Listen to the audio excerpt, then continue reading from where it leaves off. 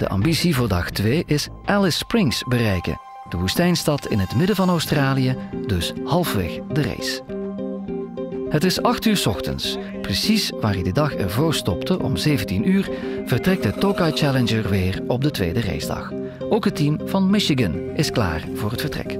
Yesterday was a great day for us. We started in sixth position, managed to uh, pass a few teams, uh, including Nuon, uh, on our way to Catherine. Between Catherine and Dunmar, we heard that Umacore uh, went off the road and hurt their car. Uh, thankfully, their driver's all right. However, our, we feel really bad for the team that their race ended in such a fashion. We've been we ran most of the day about 10 to 15 minutes behind Tokai, going about 100 kilometers an hour. so we have we have a good feeling about today. I got a good strategy going in, hoping we can catch Tokai and stay ahead of Nuon. De Nuna-zonnewagen van het Nederlandse Nuon-team start in vierde positie en gaat achter de Amerikanen aan.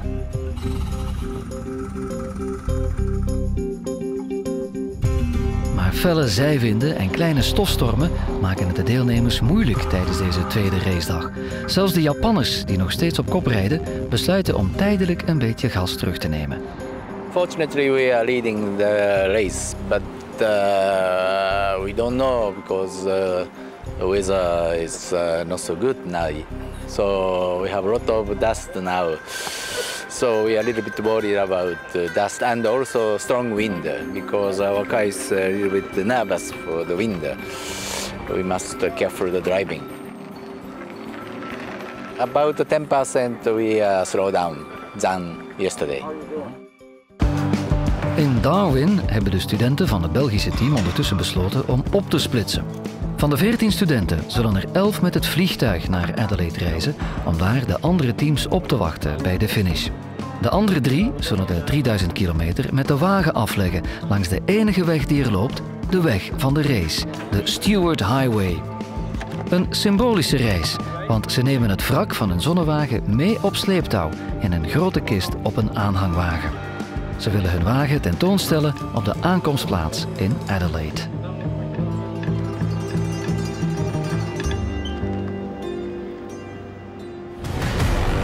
Ondertussen in de race komt de Infinium van Michigan aan op een controlestop. Ze liggen nog steeds in tweede positie, op ongeveer 30 minuten van de leiders uit Japan. I mean, when it's really windy, sometimes the car will pull towards the middle of the road a little bit. I guess I could say because of the wind, I was riding slightly towards the middle, but I mean, if an oncoming car was coming, I was able to keep the car under control. Um, my arms really weren't working that tough. I mean, I know in the United States we've done a lot of testing and the wind has been somewhat of a problem or the car's been pulling, but we've uh, sort of worked out any of those kinks or problems. So I think the car just handles very, very well in any sort of condition.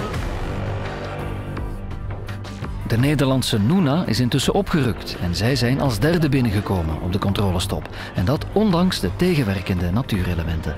Het viel vooral op dat het eh, aardig stoffig was onderweg en uh, dat er wat windstoten waren. Je, je vangt echt alles op wat je onderweg tegenkomt wat dat betreft. Maar uh, ja, je merkt het dus wel, maar het is niet uh, vervelend. Ja, het zijn natuurlijk uh, lichte auto's. Dus dat betekent dat ze inderdaad windgevoelig zijn. Ze, ze slingeren in die zin makkelijk over de weg. Maar eigenlijk is onze auto ook ontworpen juist op, op wat zijwind. Dus voor ons is het juist een voordeel. Deze auto heeft een hele lage weerstand. Dus ook als wij bijvoorbeeld een enorme windvlaag krijgen, dan zien wij in onze auto die we volgen, zien we dat we helemaal heen en weer gaan. En dan gaat deze auto nauwelijks heen en weer. Dus het hangt ook heel erg af van het, van het ontwerp van de auto en het aerodynamisch ontwerp. Maar je kan een auto ontwerpen die weinig gevoelig is voor wind. De Japanners lijken alleszins de wind van achteren te hebben, want zij maken opnieuw erg veel snelheid. De Amerikanen uit Michigan doen hun best om de Japanners bij te houden, maar omdat ze iets minder sterke zonnepanelen en batterijen hebben, is dat geen gemakkelijke opgave. Alsof dat nog niet genoeg is, beginnen ze ook stilaan de hete adem van de Nederlanders in hun nek te voelen. De Nederlandse zonnewagen is iets lichter dan de Amerikaanse en is met een veelvoud van het budget gebouwd. Hij maakt stelselmatig zijn achterstand goed. Sneller dan verwacht komen de Japanners plots aan bij de controlepost in Alice Springs, de stad halverwege de race. Well, this is the first car in. They're doing very well. They've been sitting on around just under 100 kilometers now, just all the way. Het is nog maar 16 uur, dus dat betekent dat de Tokai Challenger nog een uur mag rijden voordat hij aan de kant moet voor de nacht. De Japanners slapen vannacht dus al voorbij Alice Springs. We didn't have uh, any problem until now.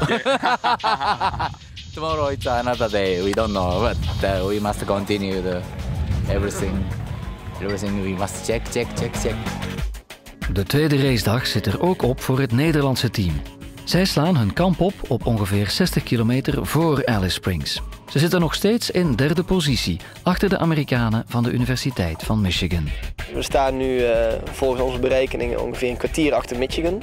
We zijn er op een gegeven moment zo dichtbij gekomen dat we ja, eigenlijk uh, close racing, uh, aan het close racen waren met, met Michigan.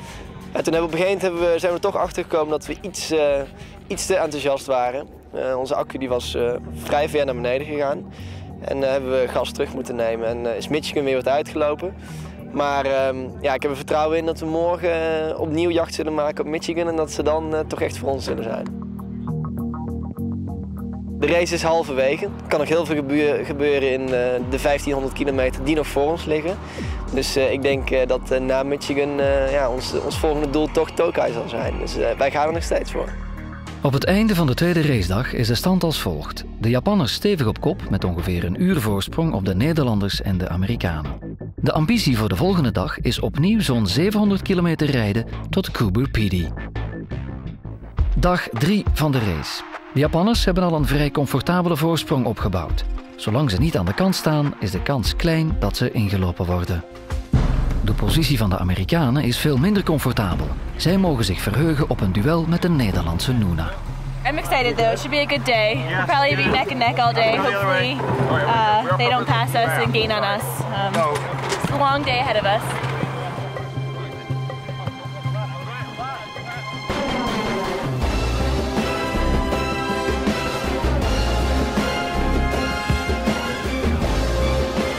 Amerikanen maken zich terecht zorgen over de Nederlandse Nuna. In het centrum van Alice Springs is de Nuna altijd op 200 meter van de Amerikanen genaderd. Vanuit Alice Springs is het nog zo'n 1500 kilometer naar de finish in Adelaide. De race is dus halfweg. Vlak buiten het centrum gaat de Nuna voorbij de Infinium uit Michigan.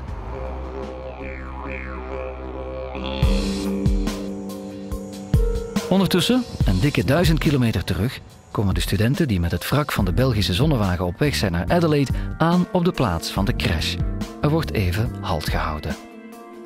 En vanaf hier is het eigenlijk van de grond gegaan. Vanaf die berm. En hier is hier hebben we rondgeklapt en de plaat is er dan ook afgegaan. Hij heeft hem hier de boom ook geraakt?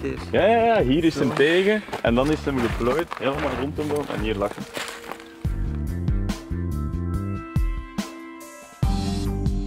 Je hebt ook een serieuze klap gegaan.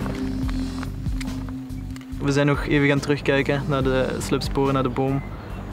Um, toch wel beseffen dat ik heel veel geluk heb gehad, maar vooral ook weer uh, het balen dat we niet konden verder rijden. De teleurstelling. Het is wel raar om hier terug te staan. Nou, het enige wat ik nog weet is dat ik uh, daar nog aan het corrigeren was, maar vanaf de weg daar en tussen de de slag hier weet ik niet zoveel mee. Ja, je zegt gewoon gevlogen. Ja. Ging op een fractie van een seconde. Ja, minder dan een seconde niet waar. Dat was wel ook uh, een heel emotioneel moment eigenlijk. De vorige keer stonden we daar met de zonnewagen. 100 meter verder was er nog 110 aan het rijden.